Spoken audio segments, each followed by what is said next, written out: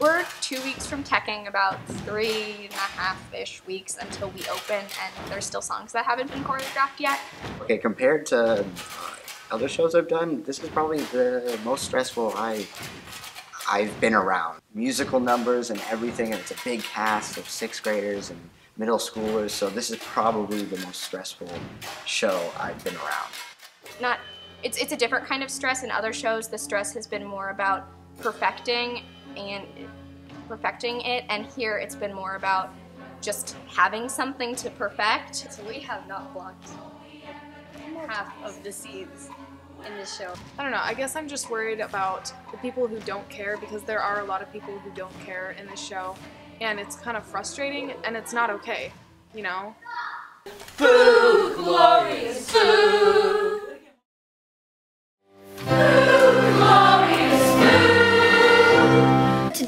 Monday, March 3rd. And the debut show is in four days.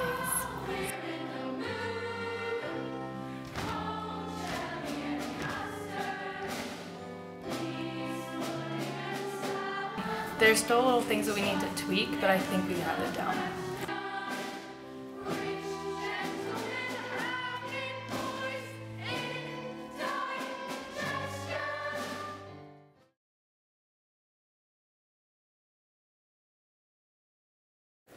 What our job is is we are storytellers. We are the conveyors of the human experience.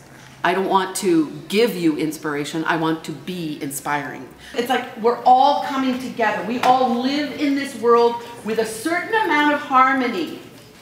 So much of the fun that i've been having is not only sharing my experience and sharing um, what has inspired me has been also watching you guys get it I am Scott Kastner and I play Mr. Sowerberry. I am Chloe Ducart and I play Mrs. Sowerberry. Well, we work in a funeral parlor. Yeah. We're um, dead inside. We're basically, basically, and like when Gretchen was like, um, like kind of in the beginning when she was working on songs with us, she would talk about how the Sowerberrys are like a lot like Edward, like she imagines them to be kind of like Edward Gorey. So like like creepy. Strange and kind of creepy, but they really enjoy it. Yeah, and like kind of cartoonish, but really creepy at the same time.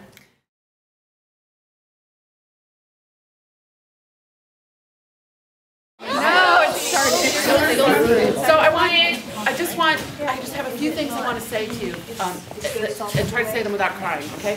First of all, the, the most important thing that's going to happen tonight is the thing you can never rehearse, and that is you'll be in front of the audience now for the first time. And all this adrenaline's gonna fill your body, your mind, your heart, your absolutely everything. Use it as a tool to help you focus more. I'm so proud of each and every one of you. I've been watching you blossom and grow, everyone, even though I don't know everybody's name. I love you all so much. You've all worked so hard under crazy circumstances, lots of problems. Look at all the costumes, yay!